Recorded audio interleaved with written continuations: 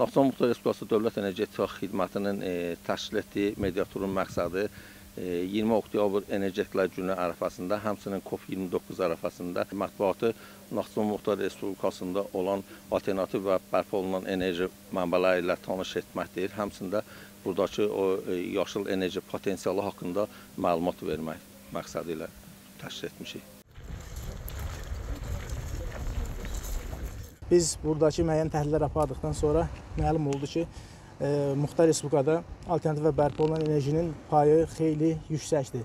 E, Azərbaycanda e, bu günə olan alternativ və bərpa olunan enerjinin payı 14% təşkil edir, amma Naxçıvanda bu göstərici 55% civarındadır. İnvestorlar e, Muxtar Respublikaya ciddi maraq göstərirlər.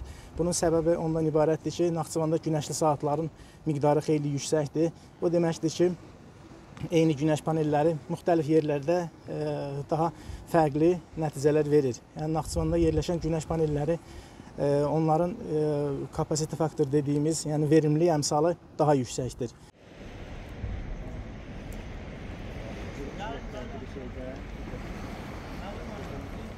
Olduğumuz ərazi Naxçıvan Külək Günəş Hibrid Elektrik Stansiyası 2020-ci ildə tikilib quraşdırılmışdır. Stansiyada 3520 ədəd 280 vatt gücündə müasir tip alüminium çərçivəli günəş panelləri, 12 ədəd e, 10 kW gücündə külək turbinləri vardır ki, illik istehsal gücü 1,6 milyon kilovat saata yaxındır. Eyni zamanda Culfa rayonu ərazisində illik e, küləyin gücünün 6-7.1 e, metr saniyə olduğunu nəzərə alıb, burada külək enerjisinin e, daha da inkişaf elətdirilməsi nəzərdə tutulmuşdur. 2022-ci ildə hər birinin gücü 30 kilovat olan 10 ədəd külək turbinləri e, deməli bu stansiyanın yaxınlığında quraşdırılıb istismara verilmişdir.